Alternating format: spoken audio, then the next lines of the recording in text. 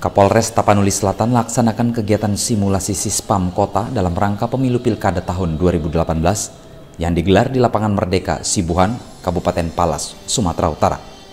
Adapun personil pasukan yang terlibat dalam simulasi Sispam Kota adalah SSK TNI, dua SSK Brimob Polres Tapanuli Selatan, satu SSK Dit Samapta, satu SST Dit Lantas Polres Tapanuli Selatan, satu SST Gabungan Sejajaran Polres Tapanuli Selatan, satu SST gabungan Krimsus, Krim Um, dan Narkoba. Adapun pasukan pendukung yang terlibat sekitar seribu orang personil. Maksud dan tujuan simulasi Sispam Kota dilaksanakan adalah untuk melatih dan menggambarkan kesiapan personil Polres Tapanuli Selatan dan instansi terkait dalam mengantisipasi terjadinya hal-hal yang tidak diinginkan. Kepolisian Negara Republik Indonesia juga akan menggelar Operasi Mantap Praja Toba tahun 2018 yang juga akan dilakukan jajaran Kepolisian Republik Indonesia termasuk di seluruh Polres Tapanuli Selatan, Polresta serta Polda Sumatera Utara.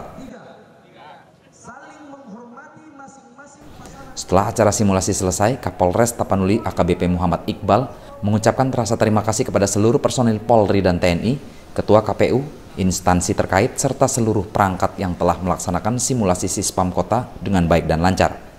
Kapolres juga mengingatkan kepada para perwiranya agar melakukan tahapan manajemen, pelaksanaan kegiatan dengan baik, serta proses perencanaan perorganisasian serta pengendalian seluruh personil agar tetap bersikap netral dan melaksanakan tugas pengamanan pilkada dengan penuh rasa tanggung jawab, penuh keyakinan, dan positif.